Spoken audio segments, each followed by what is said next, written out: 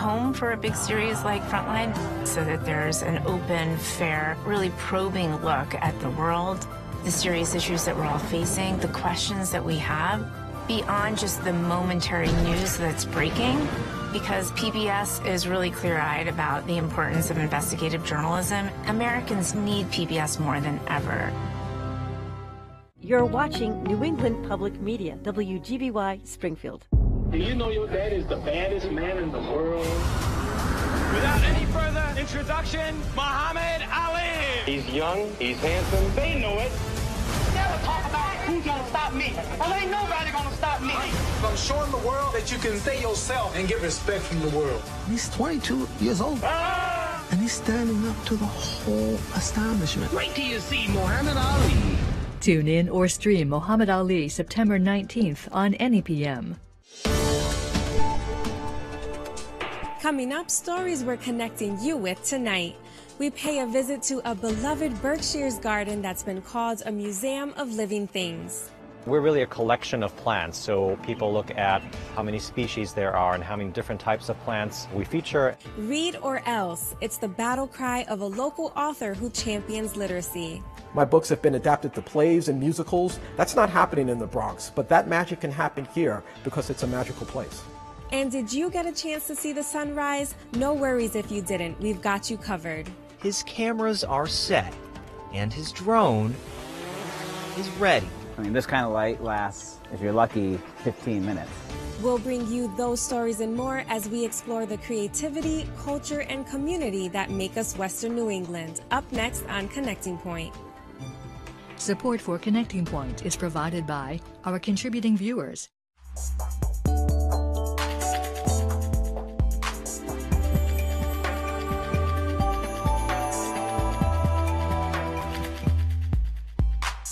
Good evening, and thanks for joining us for Connecting Point. I'm Zydalis Bauer. Established in 1934, the Berkshire Botanical Garden is revered as one of the older public display gardens in the Northeast. With over 3,000 species and varieties in its collection, it's referred to as a museum of living things and is a showcase of horticulture and garden design. It encompasses 24 acres of land at the intersection of routes 102 and 183 in beautiful and historic Stockbridge, Massachusetts. And producer Dave Frazier visited the garden and spoke with its executive director to find out what makes it so special for so many. We look at ourselves as a museum of living things. So we're not a park, we're not just a pleasure garden that you walk through and see beautiful things, but we're really a collection of plants. So people look at uh, how many species there are and how many different types of plants uh, we feature. And botanical gardens uh, sort of work together uh, throughout the country, throughout the region, uh, in uh, communicating with one another and exchanging plants sometimes and exchanging science behind plants as well. Founded in 1934, uh, and it was actually a collection of local garden clubs and civic uh, organizations that got together and said, oh, the, the, Berkshires should really have a botanical garden. And so by 1935, there was an initial gift of land here that people started cultivating.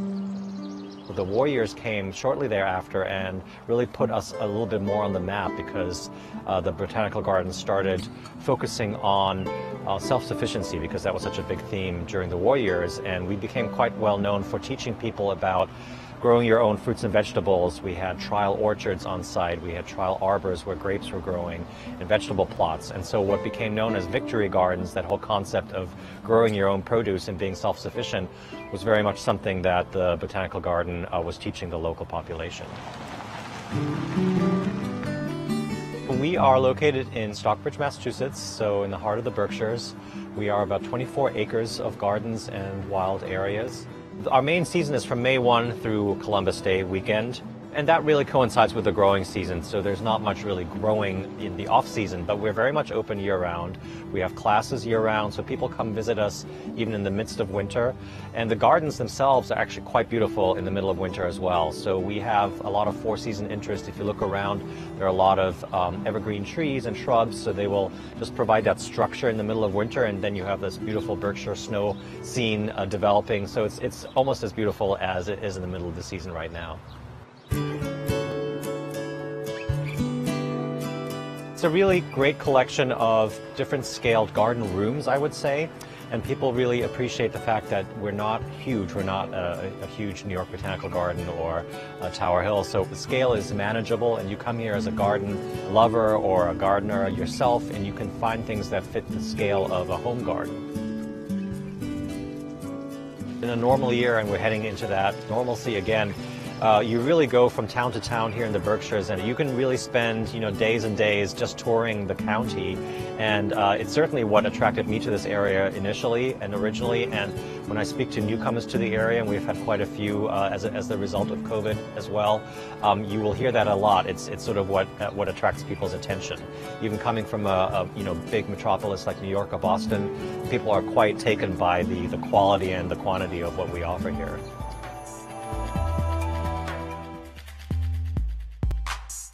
Every Friday night, Connecting Point explores the creativity, culture, and community that make us Western New England. But it doesn't stop there. You can find us online anytime for exclusive features and content.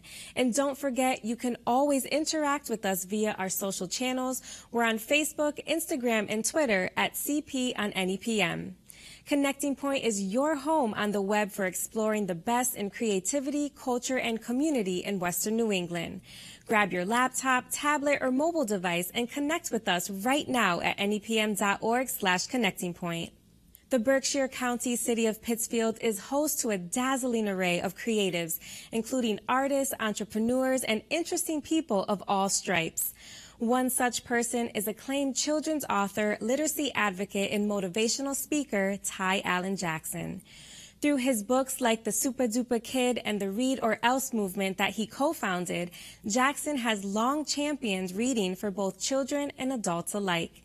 A native of the Bronx, Ty sat down with me to discuss his work, his passion for reading, and why he chooses to call Pittsfield home. Well, it all started from a question from my, at the time, eight-year-old son. He said, Dad, can we open up a lemonade stand? And, and we did, right on the corner of our home in uh, Dexter and Elm Street. And he made $50 in three hours selling lemonade, which, you know, totally blew my mind. And he said, Dad, what am I going to do with all this money? And I really didn't know. So I went to the bookstore to see if I could find a book to teach my son about finance and entrepreneurship because he was, after all, now an entrepreneur. And, you know, I noticed initially two things. One, there were so few books featuring children of color in a positive, contemporary way. And there are so few books teaching financial literacy. And so the, those two things combined into Danny Dollar. And, you know, as they say, the rest is history. Danny Dollar is clearly an extension of your son, and the character was born from his experience. How important is representation in books for children of color? It's incredibly vital that children see themselves depicted, especially in positive and contemporary ways. There are plenty of books with underground railroads and segregation and things of that nature, but it's also incredibly important for white children to be able to see that exact same figure in children of color. So it, it, it really makes uh, a tremendous difference in the eyes of all children, but specifically children of color, because it gives them a level of pride that I don't think exists in any other form. Now, Danny Dollar came about from the very real need for you to educate your son on finance and the importance of that. What other kinds of stories do you like to tell, and what themes really resonate with you? I want the children who read these books just to feel like they see themselves depicted in them, regardless of race or gender or anything else. That's why my stories are very broad. That's why they're always fun. One of, uh, two of my books are about superheroes. And, and think about what superheroes stand for. They stand for nobility and courage and honor and strength and wisdom and, and, and taking care of your community. And those are all attributes we all want to have and certainly that we all want to see within our children. So it's really important, you know, for that not to be compartmentalized to just one specific group, well, just a little black boy. It should be for all children. So it's really important not to stereotype my characters. They're just, you know, amazing children who happen to be black. Just as you mentioned, you said that comic books have been very inspiring for you, and it's often one of the first mediums that children explore when they begin reading. What is it about comic books that really speaks to you, and what attributes do you really enjoy about those books?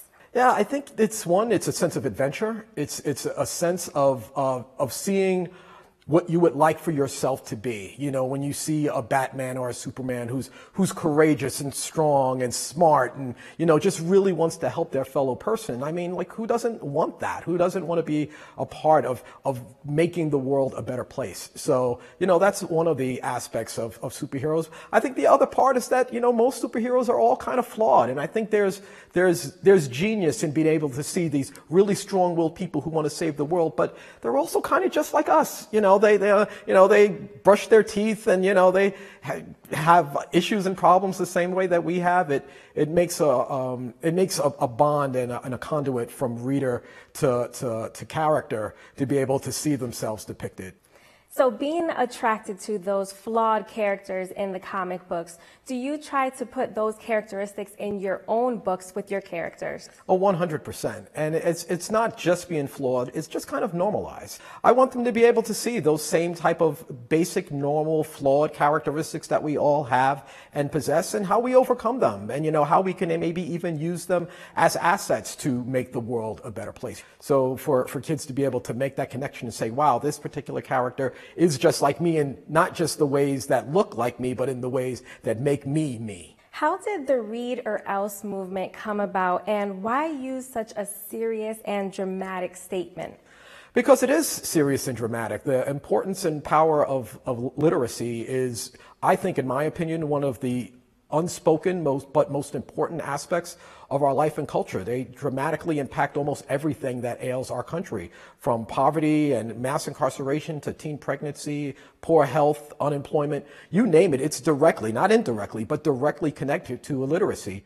Two out of three children who cannot read proficiently by the fourth grade will end up incarcerated or on welfare. And that was just a game changer to us. Like when we see that basically if our kids can't read proficiently by the fourth grade, the majority of them are going to end up incarcerated. So, um, so just, uh, just that premise alone created the whole read or else movement. And it's, it's really just been phenomenal how the world has kind of in, embraced that, that really simple but yet powerful statement. Now, literacy is more than just a vocation for you, as you were just speaking about the incarcerated individuals. It's a passion of yours. What fuels that passion for you? I, I, think it's maybe no different than the whole superhero aspect of wanting to make the world a better place. You know, leaving this place, you know, when my time comes a little better than when I was here. Like, what, what better way to do that than impact and empower our, our most beautiful and important assets, our children? So, being a child for anyone can be really, really difficult, confusing, and hard. How do books help navigate the childhood? Books just bring a level of, of, of unbridled passion and imagination that you can't capture anywhere else. Um, Stephen King called books portable pieces of magic, and, and I feel like that's exactly what they are. And, and that magic transfers from book to reader with, with every page. And I, I think it's, it's, it's the foundation of, of, of making your soul even more magical than it already is.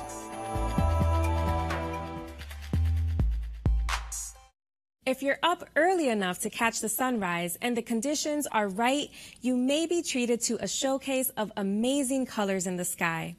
Local photographer Jamie Malcom-Brown captures scenes like this across New England, earning himself a reputation as one of the best landscape photographers in the region. Connecting Point's Ross Lipman met Malcom-Brown on an early morning where the sunrise and Malcom-Brown's photos didn't disappoint. In the early morning hours when most of us are still asleep, Jamie Malcom-Brown is awake. Uh, getting pretty close. And waiting. Yeah. Nice. For signs in the sky. Oh, yeah, we're getting some real nice color through the trees, too. Malcom-Brown is a landscape and aerial photographer. Here at Cranberry Pond in Montague, his cameras are set, and his drone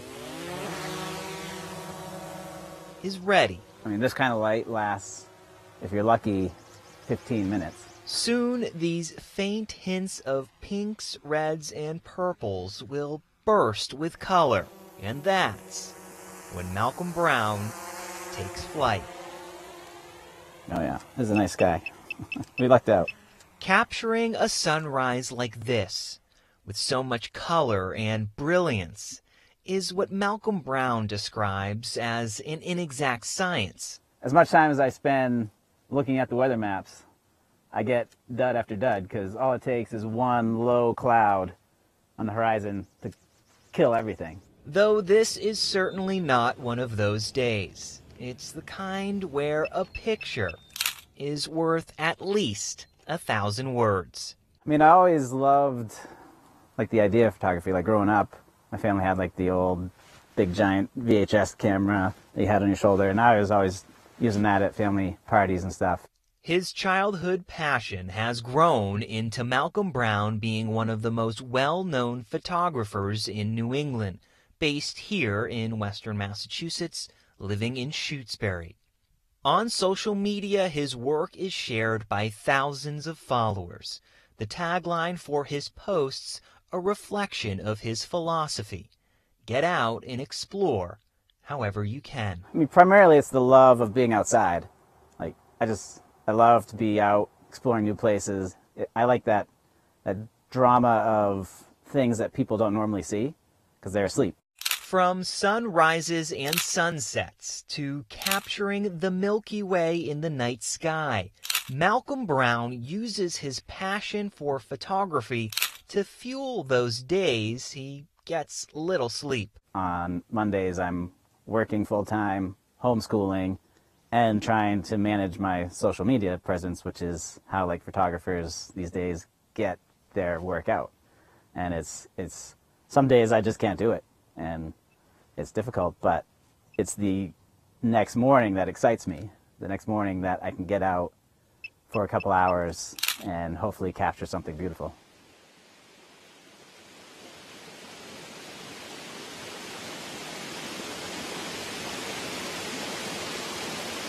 He's also exploring new ways to capture that beauty. At Gunbrook Falls, just down the road in Sunderland, Malcom-Brown is testing out his new slider. It's a device that he'll program to move his camera little by little, capturing one frame at a time. It's hundreds in total. That, when put together, gives you a unique perspective.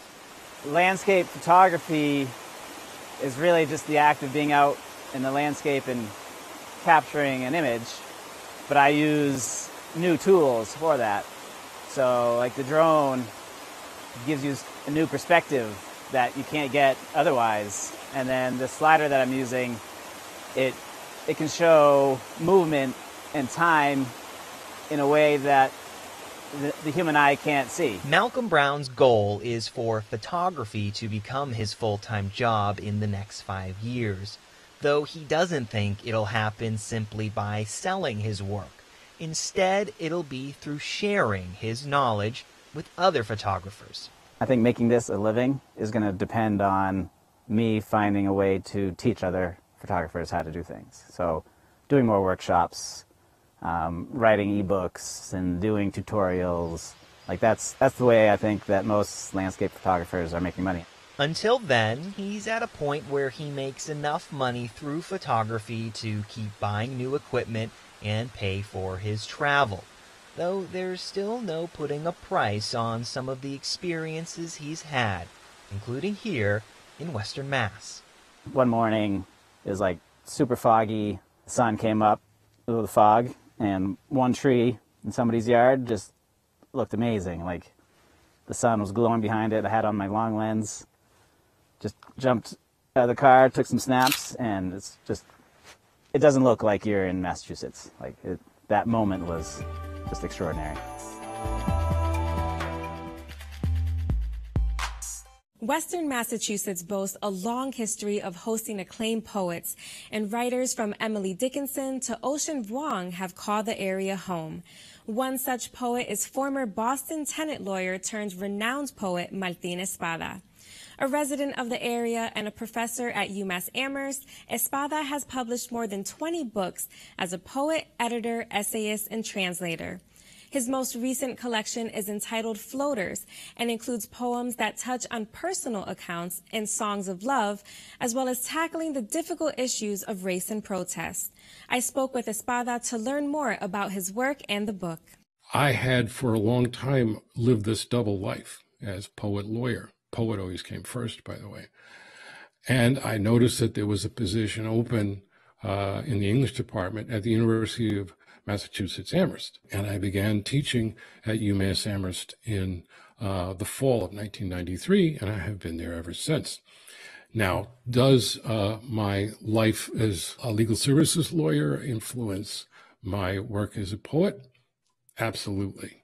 Um, the common denominator is advocacy. Advocacy, speaking on behalf of others who do not have the opportunity to speak for themselves. Uh, I did that as a lawyer in Chelsea District Court with my clients who, who came from uh, Puerto Rico or the Dominican Republic or Salvador or Guatemala. And I do it as uh, a poet. And I'm doing it with this new book called Floaters. You have published more than 20 books as a poet, editor, essayist, translator, and just as you mentioned, your current publication is titled Floaters.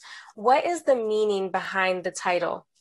The, uh, the title comes from a term used by certain members of the Border Patrol to describe those who drown crossing over the border. Um, in particular, the title poem deals with um, a, a Salvadoran father and daughter, migrants, who came to be known as Oscar and Valeria. They drowned in June of uh, 2019, crossing uh, the Rio Grande, and uh, a photograph of their bodies went viral. Um, one thing led to another, sparked uh, outrage, sparked grief, but it also sparked trutherism.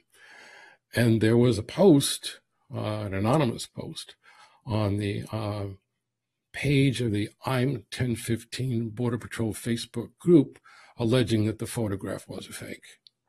Trutherism. And so uh, some poems begin as an argument. This poem began as an argument, both with that Facebook post alleging that this photograph was a fake, and as an argument with the slur, the word floaters. Poets, of course, have to be attuned to language, and especially when it is uh, abused in the service of power. Now, in a review of floaters by the North American Review, it says that instead of being overwhelmed by the delusional past of Americanist narratives, you face its ugly truths and require readers to do so too. Do you agree with that assessment? And if so, what are some of these ugly truths that readers will uncover in this book? The ugly truth is that we do not live up to our high ideals. The ugly truth is that uh, millions of people in this country live with uh, racism not as an abstraction uh, or as a debatable political phenomenon, but as a lived reality uh, in, in concrete terms that diminish them or even destroy them.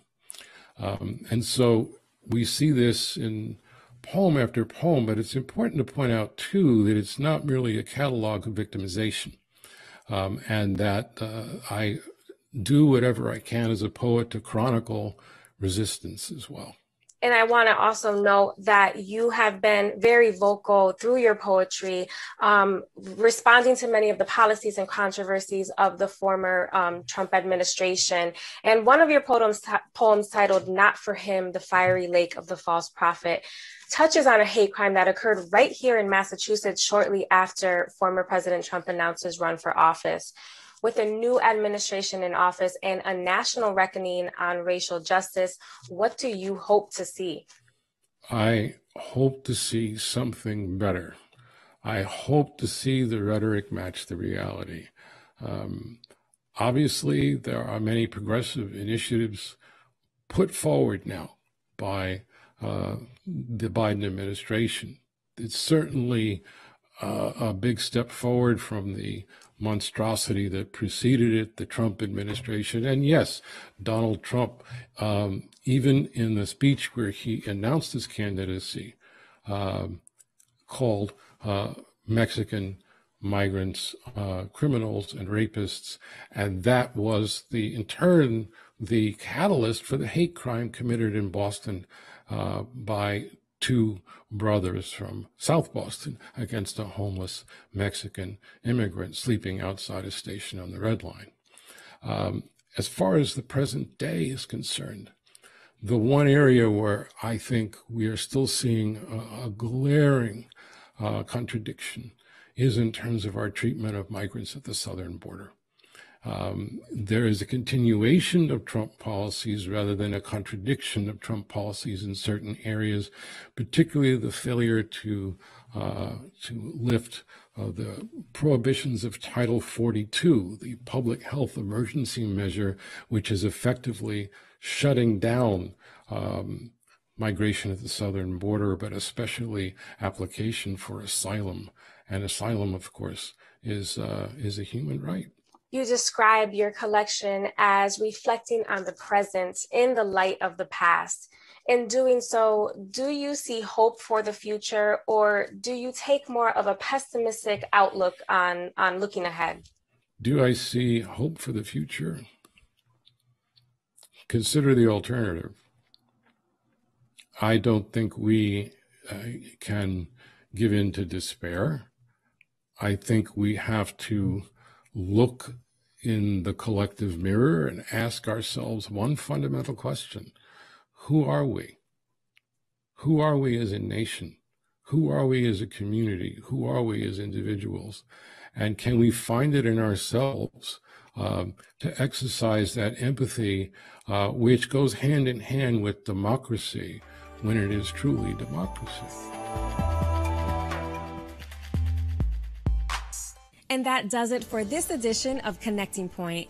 Remember, you can always find the stories that you saw tonight, as well as exclusive features, digital only content, and more online anytime at nepm.org slash connecting point. And please be sure to join us every week right here on New England Public Media for more stories of the creativity, culture, and community that make us Western New England. I'm Zydalis Bauer. Thanks for watching and have a great evening. Support for Connecting Point is provided by our contributing viewers.